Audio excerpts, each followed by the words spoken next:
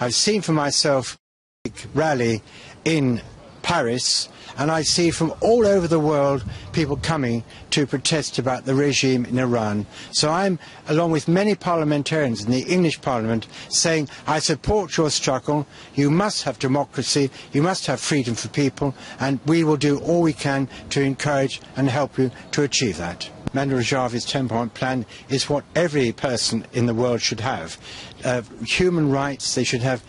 and I very much support, as many parliamentarians do in this country, Manu Rajavi's 10-point plan, plan for the future in Iran. So I say to the people in Iraq and Camp Liberty and, and in Iran themselves that we in the Parliament in the UK very much support your desire for freedom and we see what's happening under the present regime and demand change. Eh, sono qua ehm, in rappresentanza dell'AMPI e soprattutto eh, delle donne, delle donne che lottano per la libertà, e,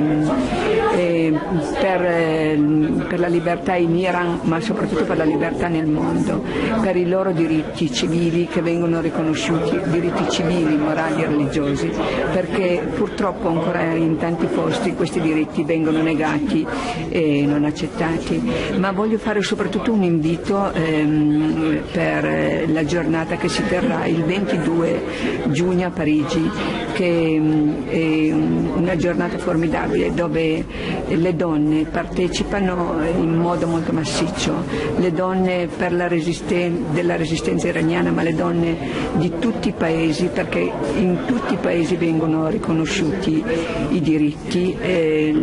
la voglia di partecipare, la possibilità di esprimere le loro idee ma io credo davvero che la comunità internazionale abbia un vizio e una capacità di sbagliare sempre, anche nei momenti in cui ha davanti dei leader come Mariana Rajavi, che è una leader chiaramente innovativa, popolare, eh, propositiva di una eh, terza via assolutamente feconda per risolvere o affrontare in modo nuovo eh, la chiave drammatica di quello che è ora e che è diventato anche grazie alle colpe occidentali eh, l'Iran. Allora sostenere eh, questa campagna, sostenere la resistenza iraniana all'interno e all'esterno è un mandato importante, decisivo per le istituzioni democratiche occidentali, sia a livello locale, sia a livello nazionale, sia a livello europeo. Essere distratti anche adesso, essere incapaci di leggere anche adesso di fronte